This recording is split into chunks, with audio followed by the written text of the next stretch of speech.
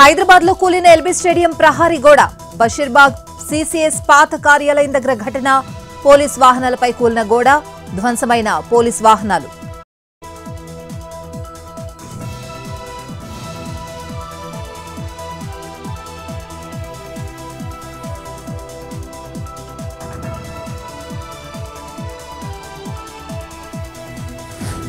రంగారెడ్డి జిల్లా వ్యాప్తంగా భారీ వర్షం. జిల్లా పరిధిలోకి వచ్చే జీహెచ్ఎంసీ ఏరియాలో స్కూల్స్కి సెలవు. హైదరాబాద్ డీఈఓ పరిధిలో స్కూల్స్కి లేని హాలిడే.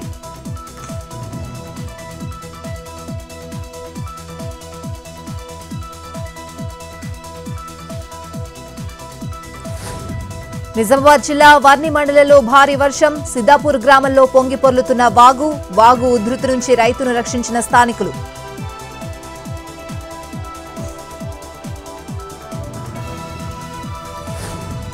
నేడు పలు శాఖలపై సమీక్ష నిర్వహించనున్న ఏపీ సీఎం పంచాయతీరాజ్ గ్రామీణాభివృద్ధి నీటి సరఫరాల శాఖలపై రివ్యూ పర్యావరణం అడవులు సైన్స్ అండ్ టెక్నాలజీ పైన సీఎం సమీక్ష.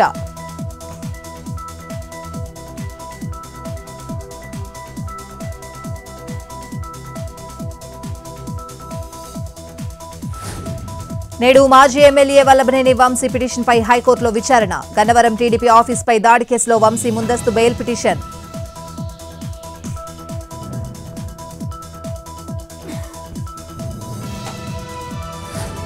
ఢిల్లీ లిక్కర్ కేసులో సుప్రీంకోర్టులో కవిత కేసు విచారణ. విచారించనున్న జస్టిస్ బిఆర్ గవాయ్ జస్టిస్ విశ్వనాథన్ ధర్మాసనం బెయిల్ కోసం సుప్రీంకోర్టును ఆశ్రయించిన కవిత.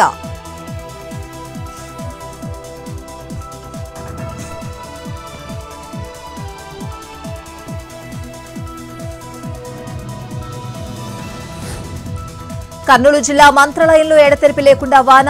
ఆరాధనోత్సవాలకు వచ్చిన భక్తులకు ఇబ్బందులు. భక్తులకు రాఘవేంద్ర స్వామి మఠంలోని ప్రాకారంలోకి తరలింపు.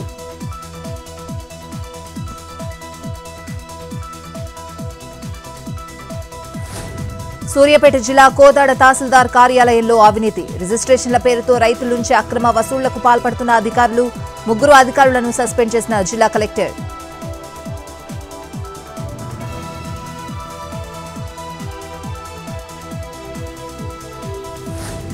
నిజామాబాద్ జిల్లా సిరికొండ మండలం రావుట్ల గ్రామంలో ఘర్షణ. రైతులకు అటవీ శాఖ సిబ్బందికి మధ్య తీవ్ర వాగ్వాదం. స్థానికులు అటవీ భూములను అన్యాక్రాంతం చేస్తున్నారంటున్న అధికారులు. పంటలను తొలగిస్తూ ఉండగా అడ్డుకున్న రైతులు తోపులాట.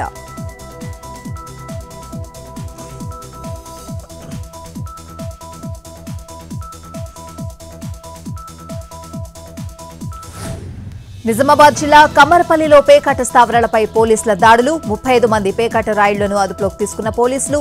రెండు లక్షల ముప్పై ఎనిమిది వేల నగదు ముప్పై ఐదు ఫోన్లు నాలుగు కార్లు సీజ్.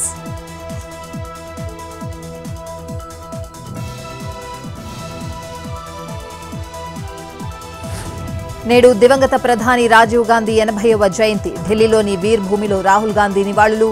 భారీ వర్షంలోనూ తడుస్తూనే నివాళులర్పిస్తున్న నేతలు.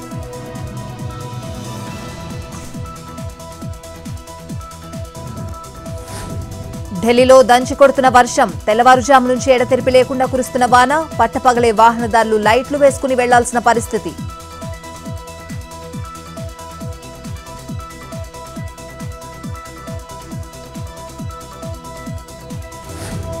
ఢిల్లీలో భారీ వర్షానికి జల దిగ్బంధమైన రహదారులు నీట మునిగిన సబ్వేలు నడుంలోతు చేరిన వరద నీరు.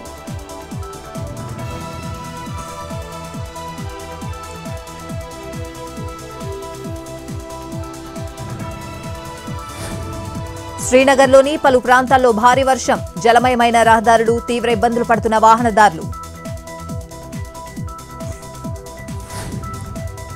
శ్రీశైలం జలాశయానికి కొనసాగుతున్న వరద. ఇన్ఫ్లో అరవై తొమ్మిది వేల అరవై క్యూసెక్లు అవుట్ఫ్లో ముప్పై ఏడు వేల మూడు వందల ఇరవై ఎనిమిది క్యూసెక్లు. కుడిగట్టు జల విద్యుత్ కేంద్రంలో నిలిచిన విద్యుత్ ఉత్పత్తి.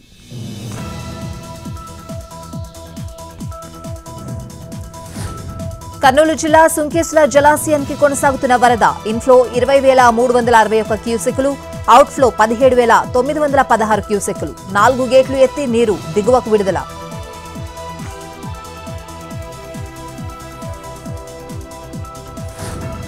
శ్రీరామ్ సాగర్ ప్రాజెక్టుకు కొనసాగుతున్న వరద. ఇన్ఫ్లో తొమ్మిది వేల నూట ముప్పై క్యూసెక్లు అవుట్ఫ్లో ఐదు వేల నాలుగు వందల యాభై మూడు క్యూసెక్లు